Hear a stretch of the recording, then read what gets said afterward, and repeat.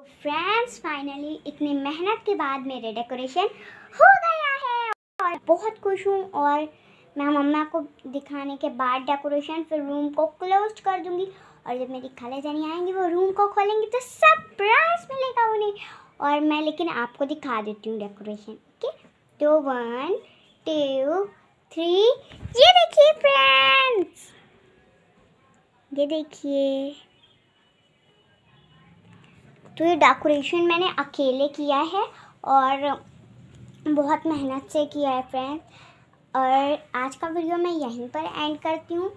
मिलते हैं next video में. तब तक के लिए take care and bye bye और हाँ फ्रेंड्स आपको अगर मेरी डेकोरेशन पसंद आई तो इसे को लाइक करें और चैनल को सब्सक्राइब करें और शेयर करना ना भूलें.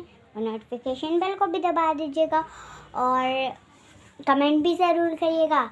मिलते हैं नेक्स्ट वीडियो में, तब तक के लिए take care and bye bye friends